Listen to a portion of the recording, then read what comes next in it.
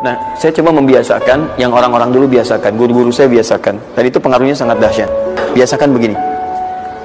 Menerima pendapatan dari mana pun, walaupun bukan gaji atau apa pun, cobalah antum keluarkan dari situ, niatkan sebagai sedekah. Saya ulang ya.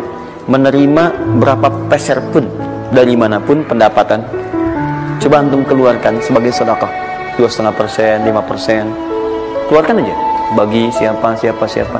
Demi Allah saya katakan begitu antum kerjakan untuk karena Allah maka Allah akan merawat anda dan menjadikan dunia kecil bagi anda. Apa pun yang anda butuhkan ada ada ada, ada, ada kecil sekali. Dan anda sudah nggak melihat nggak ada nilainya itu dunia itu. Ya, jadikan kebiasaan itu. Kalau ada pakaian sudah anda pakai datang lagi yang baru ini yang lama kasih aja.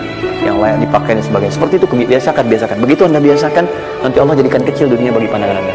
Ada nilai đẹp đẹp đẹp đẹp đẹp.